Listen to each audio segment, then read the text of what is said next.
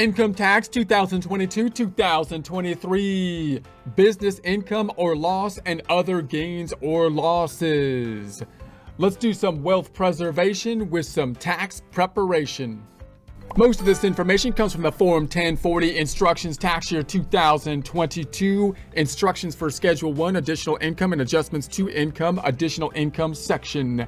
Support accounting instruction by clicking the link below, giving you a free month membership to all of the content on our website, broken out by category, further broken out by course. Each course then organized in a logical, reasonable fashion, making it much more easy to find what you need than can be done on a YouTube page. We also include added resources such as Excel practice problems, PDF files, and more like QuickBooks backup files when applicable. So once again, click the link below for a free month membership to our website and all the content on it.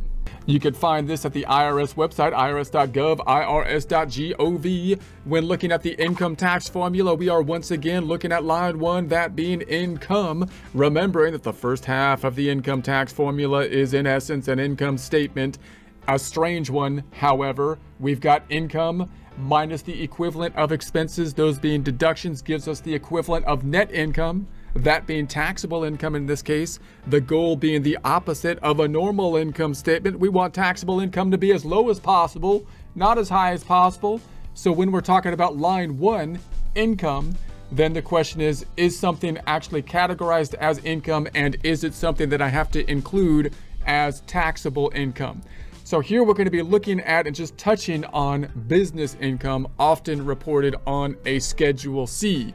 And this is a good point for us to look at the situation where we might have deductions that aren't in essence part of this line item in terms of the deductions on the income tax formula because there's going to be deductions on the other schedule. So this gets a little messy, a little bit confusing. We'll dive into it a lot more in future presentations. Note that when you're dealing with clients, you probably want to try to categorize which clients you want to deal with.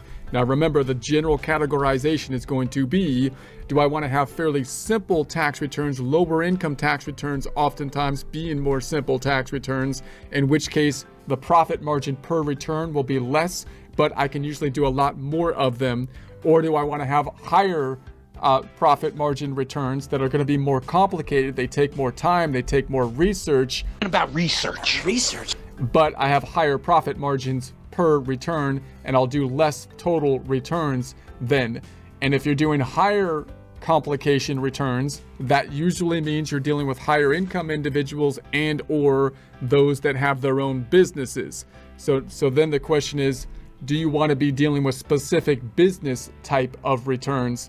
And you can think about industry and you can also think about the the types of entities they have sometimes those two go together oftentimes meaning are they in construction? Are they in real estate? Do you want to specialize in the industry that someone is in? And what type of entity do they have? A schedule c versus a corporation s corporation partnership llc and so on and so forth.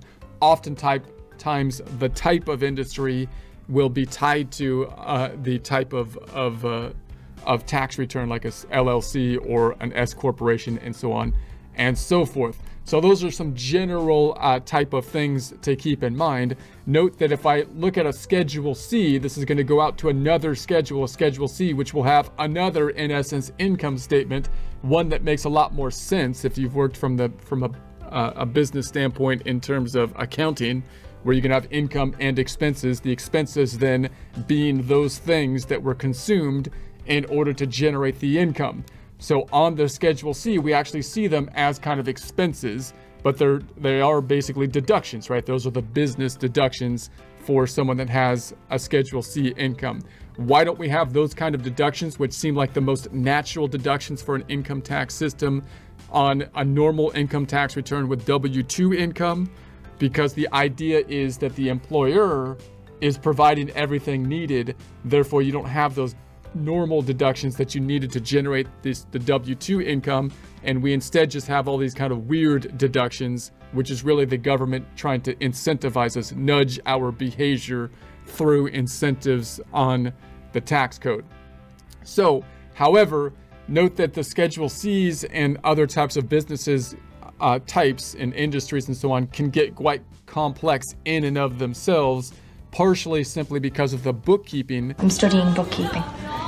Of putting together the books of, a, of an income statement for a business and also uh, in terms of the, the taxes related to them specifically. So we'll dive a lot more into a Schedule C in future presentations. Right now, we just want to touch on it as an item that's ultimately going to be pulled into, in essence, the net income from the business into line one uh, of income. Okay, so if I look at the schedule, uh, the schedule one, then the business income is going to be pulling in right here. Now notice that the business income, where did my cursor go? My cursor has gotten lost. It's right there, the 20,000. Now notice that this is pulling in from a Schedule C. So the Schedule C is another income statement that's going to be pulling into the Schedule 1, which is basically our focus uh, at this point in time. There will also be other consequences on the tax return from the Schedule C, which we'll touch on in the tax software example, and we'll dive into in a lot more detail uh, in a future presentation when we focus on the Schedule Cs in general.